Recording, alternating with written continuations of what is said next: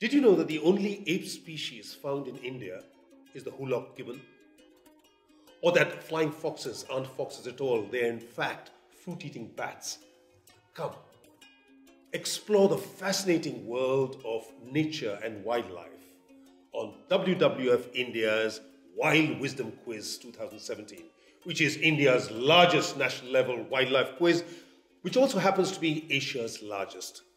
So, what are you waiting for? Spread the word amongst your friends, family, children, students to log on to quiz.wwfindia.org or WWQ and register for the 10th edition of the Wild Wisdom Quiz 2017. And watch out for the next video about this year's theme for the quiz. Begin your life changing journey for conservation now.